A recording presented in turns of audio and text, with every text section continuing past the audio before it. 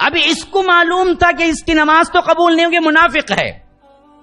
जिसको मालूम नहीं है, वो मुनाफिक नहीं होता। भाई, जिसको मालूम है, उसने सही तौर पर दिल से इस्लाम कबूल ही नहीं किया। वो तो पक्का मुनाफिक है, इसमें कोई शक नहीं है। लेकिन हम जैसे आज के लोग हैं, जिनको क्या है, मालूम ही नहीं है निफाक है। हालाँकि वो पक्के सच्चे मुसलमान समझते हैं। अमल नहीं है तो मुनाफिक नहीं है। क्या बोलेंगे हम? आओ कुरान हदीस की तरफ़। दो रिवायतें मिलती हैं। जो मुनाफिकीन के सिफात को अमली एतबार से तश्कील देती है। बुखारी और मुस्लिम की रिवायतें दो सहाबियों से रिवायत है। एक का हज़रत अबू हुरैरा रज़ी अल्लाह के साथ आई है रिवायत। एक हज़रत अब्दुल्ला बिन अम्र बिन आस के साथ आई है रिवायत। एक में तीन निशानियाँ हैं, एक में चार निशानियाँ हैं। गोया के तीन निशानियों वाली रिवायत में एक चीज़ क्या है, छोड़ी गई है, वो बाद में उसकी तफसील में फिर चार निशानियाँ वाली आ गई है। जिसको अल्लाह के रसूल सल्लल्लाहु अलैहि वसल्लम ने फरमाया कि मुनाफिक है। मुनाफिक है। अबू हुरैरा अल्लाह की रिवायत में फरमाया कि अलामात के तौर पर तीन अलामतें मुनाफिक की। हैं? अब हदीस सुनो। आयतुल मुनाफिकी सलासुन। साफ़ फरमाया कि मुनाफिक की निशा, आयत। आयत? हम कहते ना आयत। एक आयत, दो आयत। क्यों कहते है? आयत। हर आयत अल्लाह की निशानी है। वही मीनिंग आया का यहाँ पर भी आया है। आयत का मतलब है निशानी। ये अल्लाह का कलाम है, इसकी निशानी हर आयत, गोया के 6660 पर छह आयात हैं तो 6660 पर छह निशानियाँ अल्लाह ने कुरान में रख के कहा कि मुझे मबूद मानो तो कहीं जाके भटकने की ज़रूरत नहीं, मेरा कुरान पढ़ो 6660 पर छह निशानियाँ हैं, इसको देखो, मान लो मुझे रब। आया का मतलब है निशानी। तो फरमाया कि आयतुल मुनाफिक सलास। मुनाफिक की निशानियाँ क्या है? तीन है। इदा हद कदब इदा हद कदब अल्लाह अल्लाह अल्लाह हर कोई झाँक के देख ले अपने आप को। हंड्रेड परसेंट हंड्रेड परसेंट या टू हंड्रेड परसेंट निकलेगा। बात करे जो झूठ बोले। हद दसा कदब। बात करे, झूठ बोले। हाँ वादा अखलफ। वादा करे, खिलाफ वर्जी करे। कौन ये? ला इला मोहम्मद और रसुल्ला कहने वाला मुनाफिक, जो बेशूरी है, जो अपने आप को नहीं जानता, वो मुनाफिक के बारे में, खास। तो फरमाया हद कदब, वाद अखलफ वहीदा तुमिन खान, अमानत दी जाए तो खियानत करे।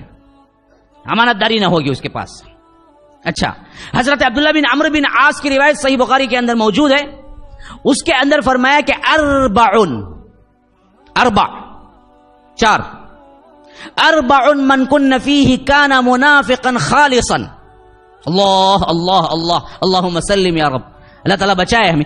फरमाया कि चार खसलतें ऐसी हैं, चार खसलतें ऐसी हैं, जिसके अंदर अगर वो चारों पाई जाए तो पक्का हंड्रेड परसेंट मुनाफिक है। Hundred percent. काना मुनाफिकन खालिसन। पक्का, खालिस। प्योर जेन्यून मुनाफिक।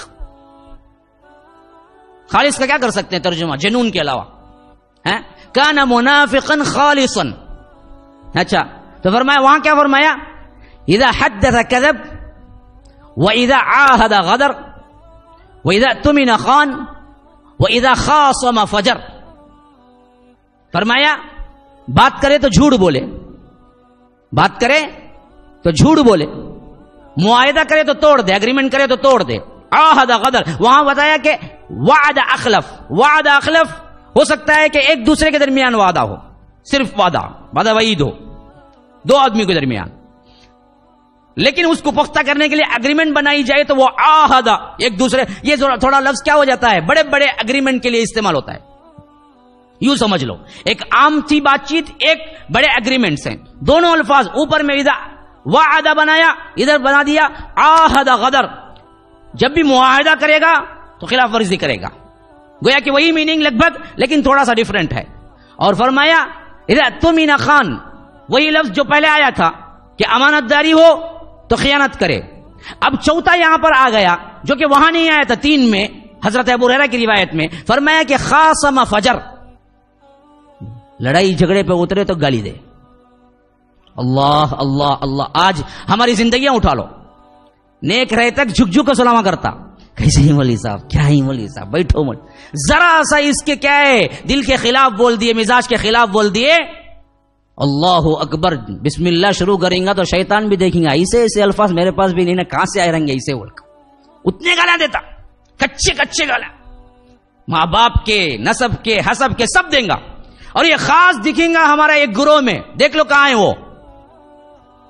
मैं कल ही बोला था, हमको गाली नहीं आती बाबा।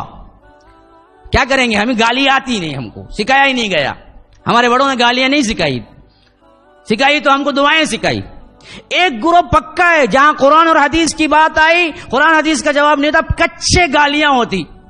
खासम फजर। अब देख लो वो कौन सा ग्रोह होगा। वो अपने आप को कुछ भी बोल ले यहाँ। अल्लाह वाला बोल ले हाँ आशिका ने अलिया बोल ले आशिकान रसूल बोल ले मुजावरी में ज़िंदगी लगा दे, कुछ भी कर ले। लेकिन इस हदीस के थ्रू अपने आप को देखे कि जरा सा गुस्सा आए तो गाली बके, फट पड़े, वो मुनाफिक है तो कौन कर रहा है देखो। अल्लाह के फजल से हम अरुल हदीस कभी गाली नहीं देते। किसी को नहीं दिए। अल्लाह के फजल से। हमारे जितने उलमाए कभी किसी गाली के लिए क्या नहीं किया। इख्तियार भी नहीं किया, जवाबन भी नहीं दिया। आज कौन दे रहा है देख लो। और देख लो कहाँ ठिकाना है उसका। खासम फजर। लड़ाई झगड़ा हो, गाली बकेगा। लड़ाई झगड़े के वक्त भी अगर किसी ने सही नॉर्मल, अच्छी गुफ्तगु कर दी, याद रखो वो साहेब ईमान है। हंड्रेड परसेंट साहेब ईमान है। मामूली बात नहीं है। मैंने अच्छे अच्छों को देखा है दाढ़ी वालों को देखा नमाजियों को देखा थोड़ा सा थोड़ा सा मिजाज का इख्तलाफ हो जाए, थोड़ा सी, थोड़ी सी अनबन हो जाए फिर उसके निकलते मोहता झड़ते देखो माशा अल्लाह देखना, ऊपर नीचे इनेज क्या आप नमाज़ पढ़ को आया सो बोल को लुंगी उठा को मार ले को घुटने के ऊपर शुरू करता देखो, क्या रे, समझा मुझे तू? समझ लेना, अल्लाह अकबर शैतान भी बना मांगेंगे। हाँ। खासम फजर। लड़ाई, झगड़ा, गली। अच्छा अभी ये चार सिफात और एक आहद गदर अगर मिला लिए तो पाँच खमसु खिसालिन। बाज मुफसरी इसी वजह से कहते हैं कि पक्के मुनाफिक की पाँच सिफात है। खमसु, क्योंकि अरबा में एक लफ्ज जायद हो गया, वह है आहद गदर। तो अगर अबू हुररा वाली तीन भी, हज़रत अब्दुल्ला बिन अमर बिन आस वाली चार भी मिला लो तो तीन तो एक सा है, लेकिन इसमें क्या है? एक चीज़ जायद हुई, वो आहद गदर का लफ्ज है। इस वास्ते पाँच ऐसी सिफात हैं। अगर उसके अंदर हैं तो वो पक्का पक्का, जनून मुनाफिक है। अब जरा अपने आप को टटोल के देख लो, हम कहा, किस पानी में हैं। अच्छा अब आगे बढ़ो फिर। तीसरा नुकता ले आ रहा हूँ।